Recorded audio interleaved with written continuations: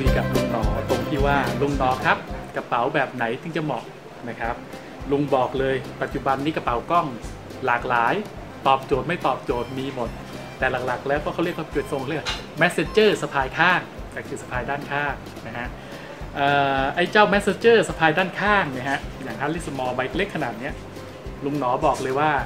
มันน่าจะเหมาะกับ1 bodyเลนส์สัก 2 ตัวนะลุงย้ำเลนส์แค่ 2 ตัวเพราะว่า ด้วยรูปแบบเนี่ยเราอย่าไปสะพายหนักมากนะฮะคือถ้าน้ำหนักมากปุ๊บเนี่ยเวลาเราไปเที่ยวเนี่ยมันเกิดอะไรขึ้น มันจะไม่สนุกเลย ยกตัวยกตัวอย่างป้าลีพาไปเที่ยวญี่ปุ่นมาเงี้ยไปสัก 9 วัน ลุงก็นึกในใจเราก็ขี้เกียจนะต้องไม่อยากคนเล่นไปเยอะนะฮะแต่พอจัดไปจัดมาปรากฏว่า ก็ต่อไปครบทั้งสามช่วงเลนเพราะว่าไปครั้งแรกมันก็เผื่อตื่นเขาเรียกตื่นตาตื่นใจแล้วก็หยิบเลนเลยมาเก็บภาพนะฮะลุงน้องตัดสินใจถูกอย่างคือ ไม่เอาส่ง messenger ไป เพราะว่าเราลองถืออยู่เนี่ยน้ำหนักมันกดเยอะมาก แล้วก็ที่ญี่ปุ่นเวลาไปเที่ยวเนี่ยโอ้โหเดินกันต้องใช้คำว่าเดินกันเป็นหลาย ๆ กิโลในแต่ละวันเดินกันบ้าเลือดเลยนะครับแต่เมืองก็สวยนะลุงได้ไปเที่ยวมาแล้ว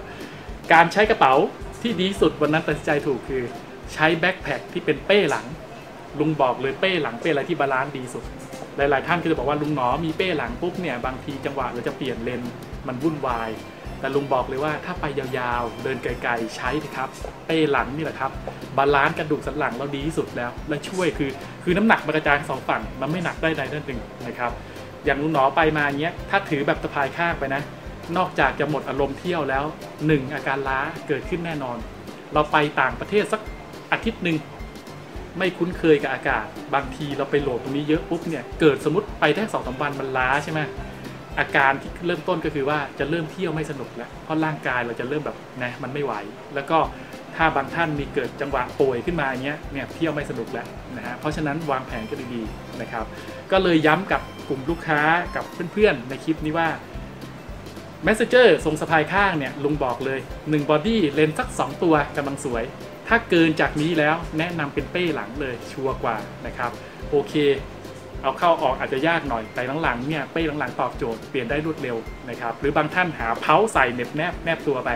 จบเลยหยิบเปลี่ยนเลนส์ได้สะดวกคล่องแคล่วขึ้น หรือกลุ่มลูกค้าบางท่านก็บอกลุงหนอครับเข้าไปเที่ยวเขาเน้นเก็บภาพเลยนะอย่างไปบางประเทศที่อุณหภูมิติดลบเนี้ยเขาลงทุนซื้อ 2 บอดี้เลย อ่า เราไม่ว่ากันตอนนั้นเขามีกำลังทรัพย์นะครับ การมี 2 บอดี้ดีอย่างช่วง normal ช่วงซูมมีครบ อันนี้มันทำให้เราแบบเออสามารถเก็บภาพได้มากขึ้นนะครับ ไม่เป็นไรลองมาตัดสินใจกัน เพราะว่าลุงมีหลายแบบให้เลือกแต่แนะนำกันอย่างนี้ เพราะว่าเน้นให้เป็นเป้หลังห่วงใยสุขภาพกันนะครับ เอาละครับ แล้วไงแวะมานะครับ